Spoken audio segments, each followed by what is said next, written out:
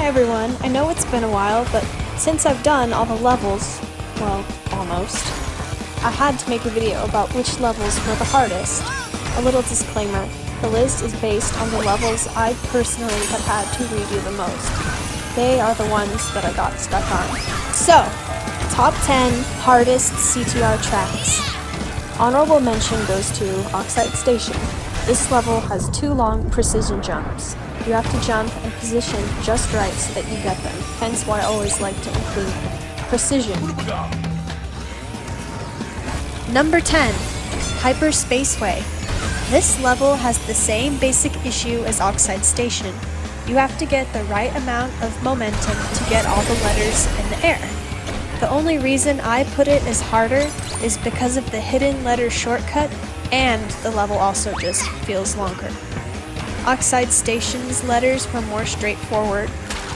Although if you want to see more of that, in regards to letter placement, I'm actually going to make an entirely separate video, so be sure to check that out. Number 9.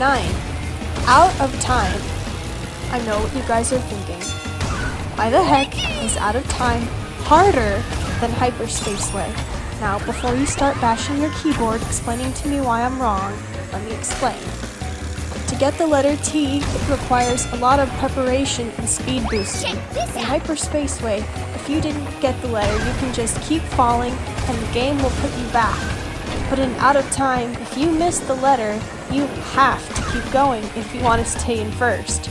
Also for me, these type of long jumps are easier to master than precision speed boosting. All you have to worry about with long jumps is the positioning. You don't have to think about speed boosts. Or do you? Number 8. Slide Coliseum. This one was hard. The speed jump requires a lot of precision. Until that was, I realized I could just turn around and then jump up to get it. Number 7 is Papu's Pyramid. Because you don't always make the jump, and there are a lot of sharp turns when going up the pyramid, and also forgetting the last letter.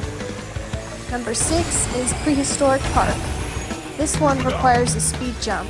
This level was originally below Papu's Pyramid, but I moved it higher because of the way the last letter is hidden. Honestly, how would someone ever figure out that it's behind the waterfall? Number 5 is Twilight. This level was harder mainly because of perfecting the jump to get the second letter. The third letter is also hidden in a shortcut. I tried many, many times to hit that jump. Number 4. Gingerbread Joyride. At first glance, this level looks like a piece of, well, gingerbread. It's a feel-good, innocent, cute level that rivals Coco Park. So getting the letters on this one must be super easy, right? And that is where he'd be wrong.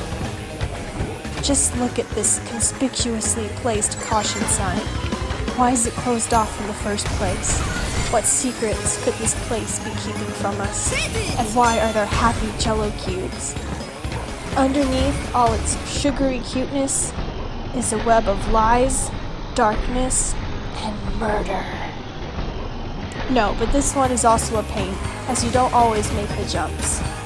What's frustrating is there are two jumps you have to make which are in the same area, so each lap is dedicated to one letter, which leaves little room for error. Both are precision jumps. However, the other jump tricks you into thinking you need to jump higher when in fact you don't. Then, after going through hell to get the first two letters, the last one is practically given to you. Almost as if Santa himself stepped in at the last minute to give you the rightfully deserved letter.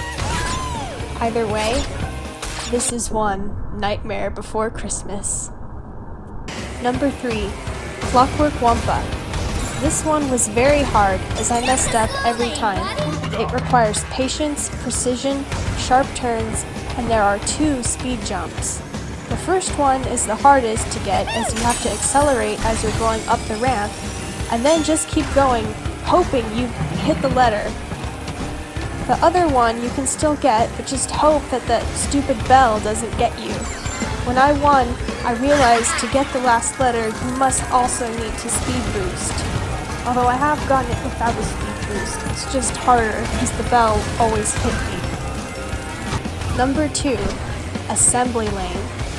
This one, you have to be really, really, really good at sliding.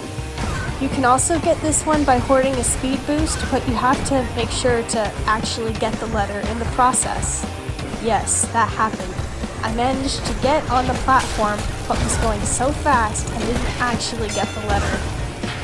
I think of all the levels I've filmed myself doing, this one had the most attempts. I gotta say, at least 30 to 40. Number 1. Drive Through Danger. This one was originally third place, since I struggled with the last two more, but I had to move it up because of how difficult it is to get all the letters. At least get them the way the game wants you to. This one had a letter that was impossible for me to get without using an extra speed boost. You basically need to speed boost and then go up the ramp to get to the shortcut getting the first letter, then get another speed boost, then jump across the track to keep it going, then you should be able to just go straight and you'll zoom into the next letter. I don't think I need to explain, but basically, I never did that.